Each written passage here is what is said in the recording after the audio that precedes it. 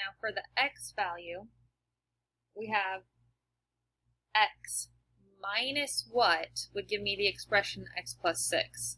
So I'd have to subtract a negative 6 in order to get the expression x plus 6 because two negatives makes a positive.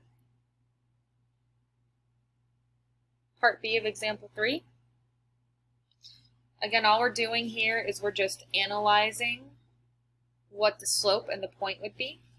Keeping in mind our form, the slope would be this number right here, the negative 1 half.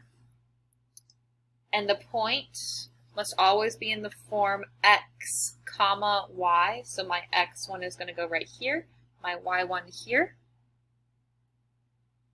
The y value will be y minus y1. So I'm subtracting a positive 3 and x minus a positive 2. So 2 would go here. Being able to analyze this information just given the equation will help you when it comes to graphing. So just like with before in the other form, I do have the list of steps listed above example 4 for graphing. That can help you on your homework. Um, but for now, I'm just going to talk you through it. So the first thing I want to do is basically do what we did in example 3. Just look at the equation and write down the information. So looking at this equation, I can see that my slope is a negative 3 and a point that lies on the graph, again being in form x1 comma y1, it's going to be y minus a negative 4 so negative 4 would go here. And x minus a negative 2. So negative 2 would be right here. Once I have this information, I can go ahead and uh, begin plotting that information onto my coordinate plane. So once again, to draw any linear function, all you really need are two points. I already have one point right here. Negative 2 negative 4. To get my second point, I can use the slope. So my slope is negative 3. If I wanted to, I could rewrite it as negative 3 over 1, just because it helps me keep in mind that we are using rise over run. So my rise would be moving down 3, my run would be moving right well, let's go ahead and do that. Starting from my point, negative 2, negative 4, I'm going to move down 3 and right 1. I'm just going to make a note, and you don't have to do this if you don't want to. I could have also moved using the negative associated with the denominator. So I could have also moved up 3 and left 1 if I really, really wanted to, but I'm not going to. Let's go ahead and just connect the points and draw a linear function.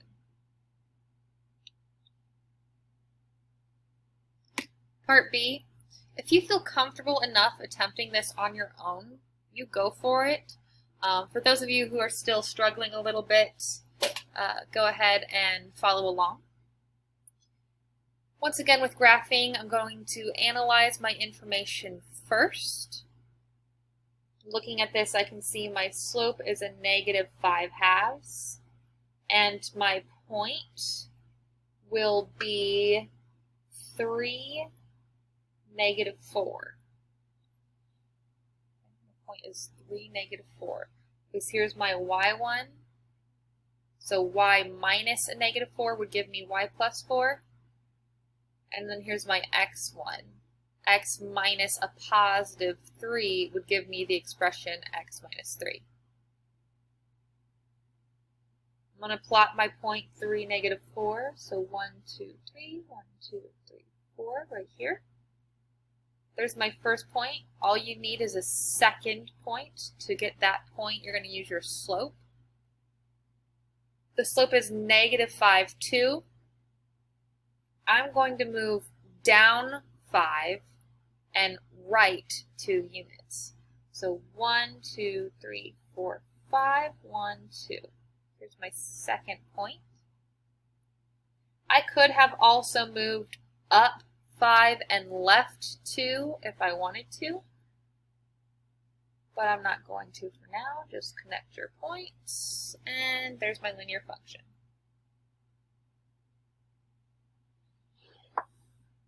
Examples 5 and 6 are taking a look at standard form. Now, in Algebra 2, normally when I give you something in standard form, we go ahead and we convert it. So I might take a look at this and say, hey, instead of me having to go through all the work and solve for standard form, let me just rewrite it into slope-intercept form. So I could subtract my 2x over to the other side and to get y by itself, I would divide each side by 4.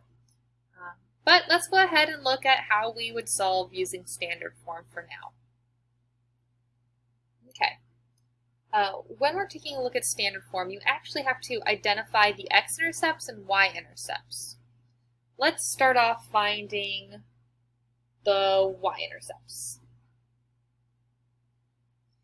In order to find the y-intercept, we'd have to solve for y. Essentially, we'd have to let x equal 0. If I let x equal 0, well, I'm going to go ahead and substitute in my 0 for x, giving me 2 times 0 plus 4y equals 8. Well, 2 times 0 is just 0, so that's gone. And now I just have 4y equals 8. To get y by itself, we divide each side by 4, giving me y equals 2. So I have the point 0, 2, because remember it's x comma y. 0 was x and 2 is y. And now I need to find my x-intercept. Well, if to find the y-intercept I had to let x equal 0, then to find the x-intercept I have to let y equal 0. Let's go ahead and substitute in 0 for y. That would give me 2x plus 4 times 0 equals 8. Well, 4 times 0 is 0, so that's basically gone. Uh, 2x equals 8. To solve for x, just divide by 2 and I get x equals 4. So that means my second point, or my x-intercept, is going to be 4, comma 0, because 4 was x, 0 was my y. Let's see what that would look like graphing. For now, I'm just going to skip part B here because, you know, I we really will just rewrite it in the future, so I don't want to spend too much time on this. Um, for graphing, I think it would be easier if I just went ahead and solve for part B. So that's what I'm going to do here. Okay. Looking at part B of example 6, the first step I want to do in graphing is analyze the equation. Okay, well this is standard form, and we just went over that when in standard form, we need to find the x and y intercepts. The first thing I'm going to do is I'm going to solve for my y-intercepts just like last time. So I'm going to let x equal 0 in order to solve for this.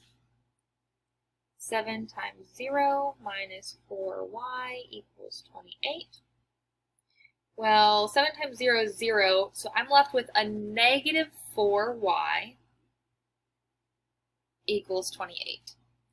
To get y by itself, I have to divide each side by negative 4, and that would give me y equals negative 7, which means that one of my points is going to be 0, because that's the x value, negative 7.